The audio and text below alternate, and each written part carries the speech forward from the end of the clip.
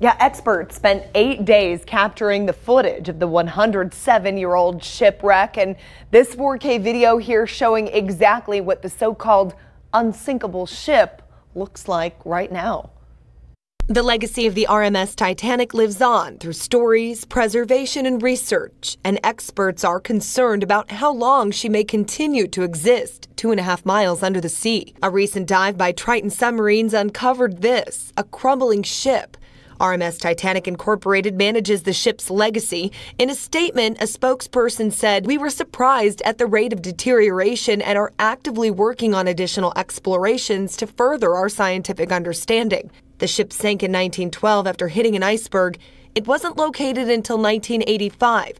Artifacts finally recovered in 1989.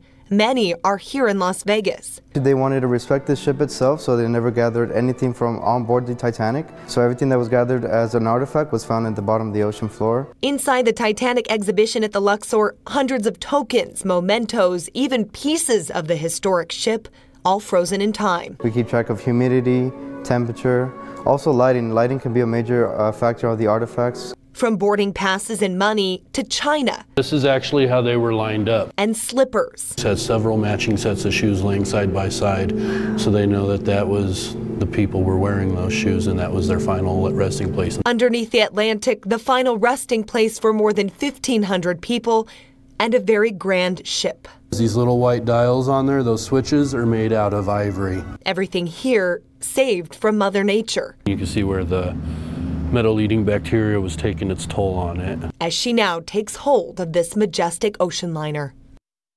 The exhibition is permanent here in Las Vegas, open seven days a week, even on holidays. As for the Titanic and further exploration, experts are consistently monitoring it and plan to go back.